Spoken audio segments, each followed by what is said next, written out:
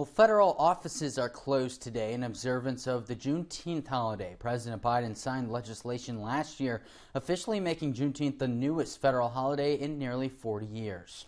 Today marks the first time Juneteenth is being widely observed with closures of federal agencies, banks, schools, and more. And while the official holiday was yesterday, the closures are happening today.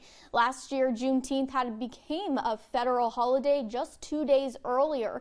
So the short notice meant many organizations didn't have time to prepare for it. Yeah, but this year, today, U.S. post offices are closed, the New York Stock Exchange and NASDAQ don't have active trading hours, and most federal offices and schools are shut down. So is the Federal Reserve, along with most banks. The holiday commemorates when Union Army General Gordon Granger arrived in Galveston, Texas, to announce enslaved people had been liberated. That was two and a half years after the Emancipation Proclamation.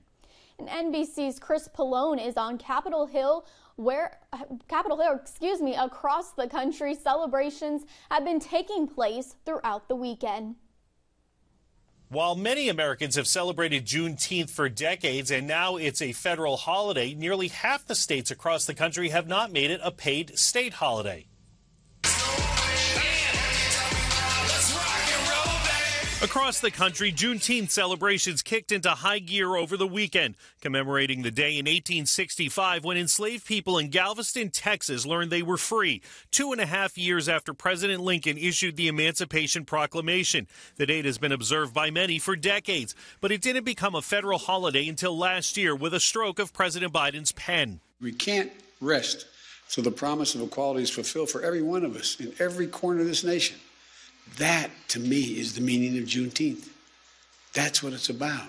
In Fort Worth, Texas, Dr. Opal Lee led a two and a half mile walk to start the Juneteenth celebration there. She's known as the grandmother of Juneteenth, a leading advocate for making Juneteenth a federal holiday. In Wisconsin, the city of Stevens Point marked the holiday for the first time with a festival. Important for me um, and other folks to connect with folks in the community and understand that we're here. In Buffalo, New York, site of one of the nation's largest Juneteenth festivals, the state's governor paused to remember the victims of last month's racist attack at a crowded grocery store. In Washington, the National Archives is displaying the original Emancipation Proclamation alongside the Juneteenth Order, while visitors to the National Museum of African American History and Culture find educational programs and exhibits marking the holiday. I hope people understand not only the importance of Juneteenth to African American culture, but also its relevance to all of American culture and history. Juneteenth, a day to reflect, remember, and to celebrate. In a statement, President Biden said great nations don't ignore their most painful moments. Instead, they confront them to grow stronger. In Washington, Chris Pollone, now back to you.